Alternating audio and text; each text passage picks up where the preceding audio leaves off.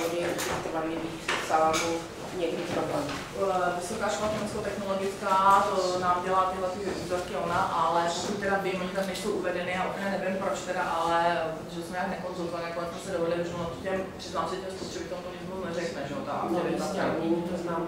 ale všichni to splnili, taky 1993.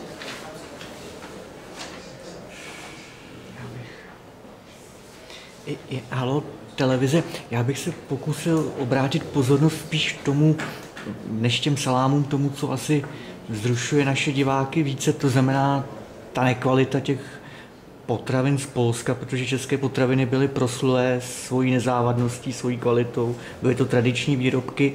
A jak se nám otevřel ten evropský trh, tak k nám začaly proudit různé dioxiny v mase, všichni si pamatujeme ty aféry a podobně. Není to první problém, který vznikl na trhu s potravinami evropském. To určitě ne. Eh, My novináři jsme byli ubezpečováni, že ten systém RAPEX a podobně je dokonalý, že odhalí každou chybičku, závadu a podobně. Ukazuje se, že dokonalý není, takže jsem rád, že to tady vlastně naznačil i pan ředitel. A jaká budete navrhovat opatření k tomu, aby jsme my, spotřebitelé, byli tedy lépe chráněni, aby jsme se dostali případně eh, k těm zdravým českým potravinám, což už je samozřejmě zase eh, políčko práce potravinářské komory, aby nám udělala tu osvětu různými těmi značkami a podobně. Ale co vy jako orgán státní zprávy budete navrhovat, aby jsme nebyli tráveni těmi jedy?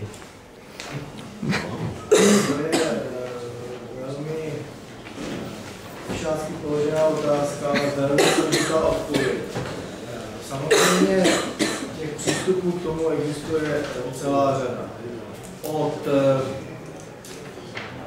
od toho kroku, ke kterému se obávám, nebude mít český stát odvahu, a to je eh, navrhnout Evropské komisi zákaz eh, distribuce, respektive dovozu polských potravin vlastně na území České republiky nebo respektive do jiných členských států než tedy na území Polska. Tam samozřejmě České republice hm, hrozí infringement, to znamená řízení Evropské komise eh, s členským státem za eh, jaksi nepostupování podle evropských, evropského práva a evropských pravidel. Eh, Takže to je otázka spíše pro ministerstvo zemědělství nebo pro pana ministra, a zdali se k tomuto kroku odhodlá nebo ne. Co, mož, co můžeme my, jakožto operativa toho případného, toho případného kroku, je, je ta, že samozřejmě budeme iniciovat, co už jsme udělali, eh, tlak na v tomto případě polskou stranu, ale ony podobné problémy byly i v Německu, když jsme se nedozvídali informace o dioxina, dioxine, když jsme se nedozvídali korektní informace o ještěrky jako a tak dále.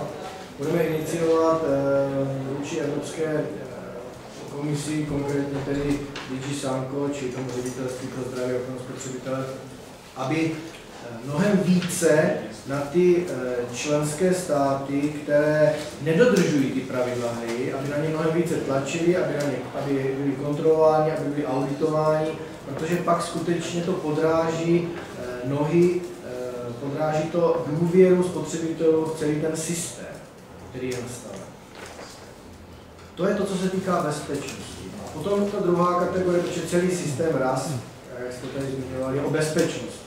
Co se týká kvality, tam je situace trošku jiná. Ta benevolence v kvalitativních parametrech v Evropě, eh, na rozdíl od eh, našich tradic, na které jsme byli zvyklí, je, je zkrátka zjevná, ta tady je. Eh, Takže my v tuto chvíli připravujeme určitý portál, určitou, my, myslím se ZPI, určitou aplikaci, do které, která bude veřejně přístupná, respektive bude přístupná ostatním orgánům jiných členských státech a my budeme krmit, v uvozovkách krmit tuto aplikaci informacemi tak, aby spotřebitelé eh, věděli, které potraviny eh, jsou nekvalitní, eh, které neodpovídaly těm parametrům, ať už jsou to potraviny tuzemské nebo zahraniční. Samozřejmě, že to bude na bázi dobrovolnosti, jestli se ostatní členské státy eh, k tomu rozhodnou připojit, je věc, jej, je věc jejich, nebude to svázáno em, samozřejmě prostřednictvím Evropské komise a evropskými předpisy, bude to naše iniciativa, ale rozhodně my budeme ti, kteří to roztlačíme a pak je otázka, jestli ostatní se rozhodnou do toho nastoupit. A upozorňuji, že to bude záležitost kvalitativních parametrů. kvůli bezpečnosti, protože systém ráz už funguje, je, je nějakým způsobem zaběhnut. A kdy se můžeme těšit jako na Předpokládáme, že bychom, nebo chceme v průběhu roku to zprovoznit. Letošního roku.